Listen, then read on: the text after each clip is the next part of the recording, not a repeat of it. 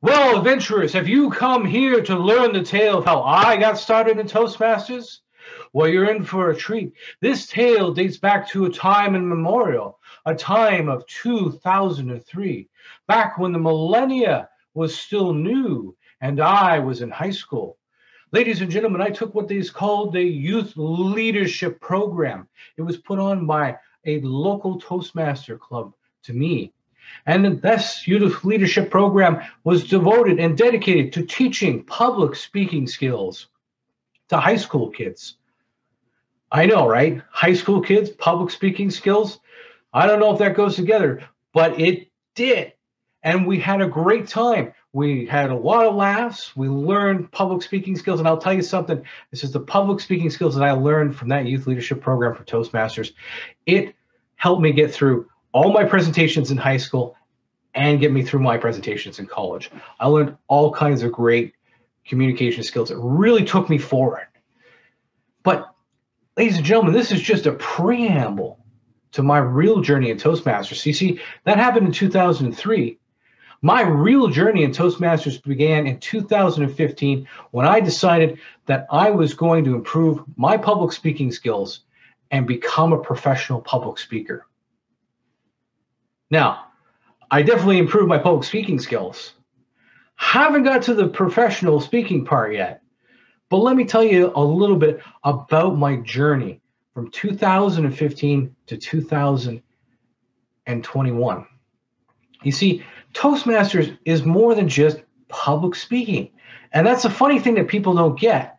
They go, oh, you just go to increase your public speaking skills. Well, no, you learn all kinds of wonderful communication skills. You you learn how to do impromptu speaking, as you can see as we do table topics. You learn how to craft speeches. You learn how to give feedback. There's so many great communication aspects that you learn from Toastmasters. But there's one thing that we we don't really promote a lot, and you learn leadership skills.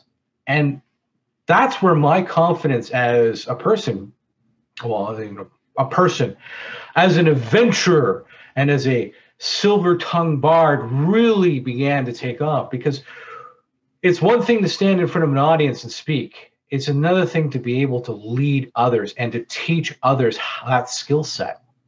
And here at Toastmasters, we help you to become better public speakers and leaders at the same time. And while you're going through this whole journey and this whole process, you'll level up everything about you.